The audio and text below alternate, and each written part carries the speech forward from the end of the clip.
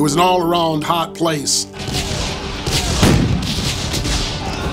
We lost that battle. It was bloody, and we lost it bad.